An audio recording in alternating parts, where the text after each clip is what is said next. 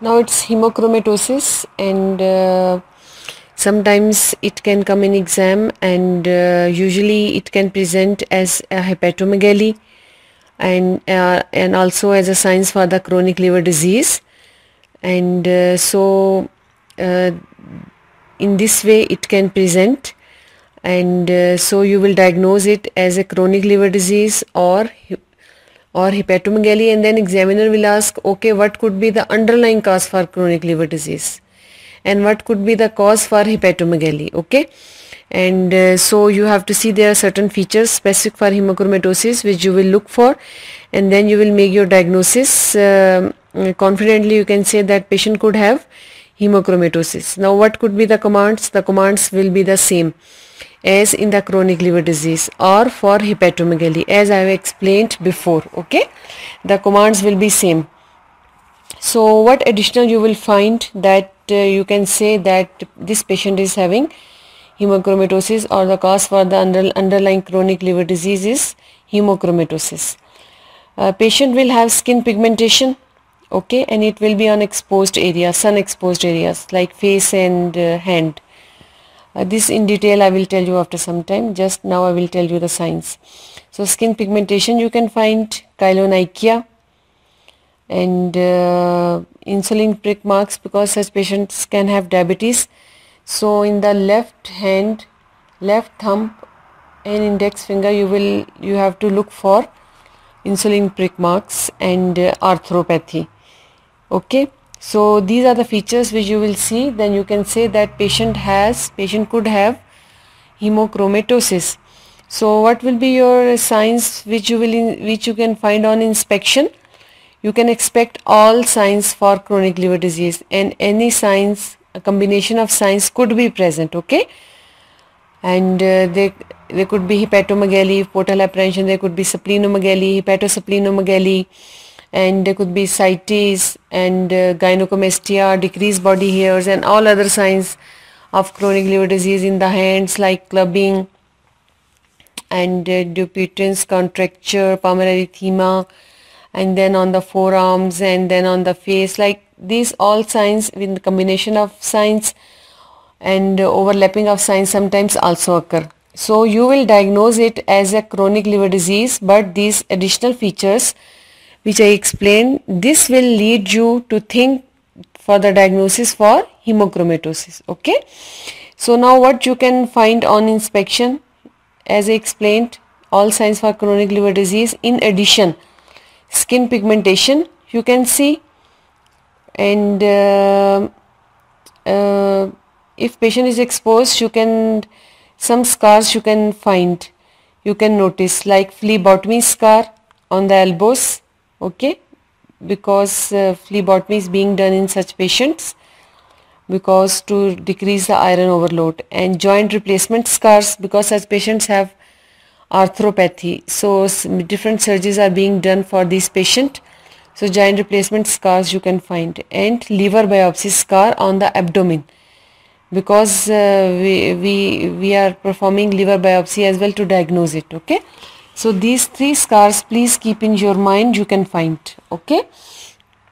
So now few things I want to tell you that uh, in uh, hemochromatosis diabetes it is called bronze diabetes uh, because patients are having such color pigmentation or slate gray pigmentation okay jaundice may or may not be present again as a part of chronic liver disease skin pigmentation occur in more than 90% of the patient okay and one of the earliest sign of the disease. And it you have to look it on the face and hands and it can vary in color from bronze, bronze to slate gray to metallic gray discoloration okay. So this color pigmentation you can find. And uh, you can find koilonychia as well and uh, it occurs in 50% of the patient and uh, you mostly you can find it on thumb and index finger. Okay. Gynecomastia and decreased body hairs you can find and uh, here it could be due to chronic liver disease or hypogonadism. Hypogonadism occur in, in hemochromatosis due to iron deposition in the pituitary gland. Okay. So just this you remember if examiner asks the cause and you should know and hepatomegaly is a common presentation and malignancy is very much associated with it. And um, when you will auscultate you, uh, you will auscultate the liver as well as I have explained and you will try to listen hepatic bruit which again signifies hepatocellular carcinoma. Okay? And arthropathy is also very common and there is pseudo gout and it is due to calcium pyrophosphate crystal deposition which are positive birefringent crystals okay? And the most commonly affected joints are what? These are metacarpophalangeal joints and proximal interphalangeal joint okay? However you have to look the hips and knees for joint replacement scars. And uh, uh, left thumb and index finger you have to look for insulin prick marks for the diabetes and uh, you you may in this patient the common cause of death is congestive cardiac failure. So you can find pedal edema raised jvp facial puffiness dyspnea, patient clefts in the chest okay? So like this. And uh, this is autosomal recessive disease. Now how you will diagnose it? Uh, you can say that my diagnosis uh, it includes i will do iron profile and uh, fasting transferrin saturation more than 60% in males and more than 50% in females is highly specific for the iron iron load okay?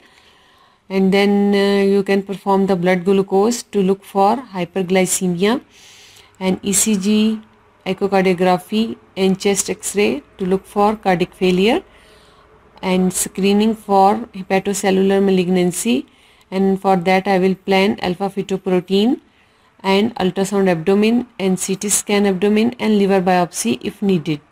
Okay? And I can go for uh, genetic testing as well and look for C282Y and H63D mutations. This, is, this will confirm the hemochromatosis diagnosis in over more than 90% of the cases. Okay?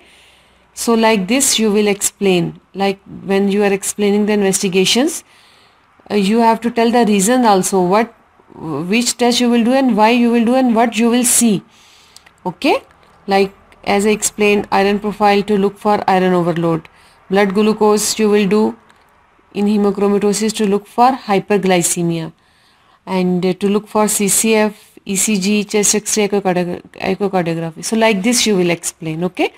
It will leave a very good impression. And mortality in here is due to CCF, congestive cardiac failure.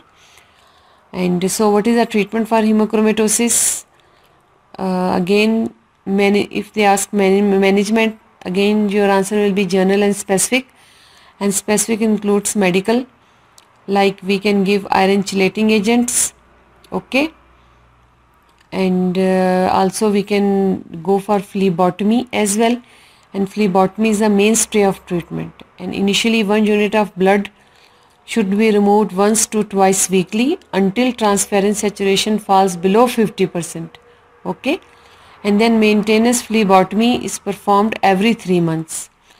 And uh, if we are doing phlebotomy, then it improves which symptoms of hemochromatosis. It doesn't improve all symptoms and signs for hemochromatosis. It improves only insulin sensitivity, fatigue and skin pigmentation. However, arthropathy, hypogonadism and cirrhosis do not respond to treatment. Okay. And one thing more very important, such patients are very much prone to have hepatocellular carcinoma. And the risk for hepatocellular carcinoma is significantly, it is increased. Okay.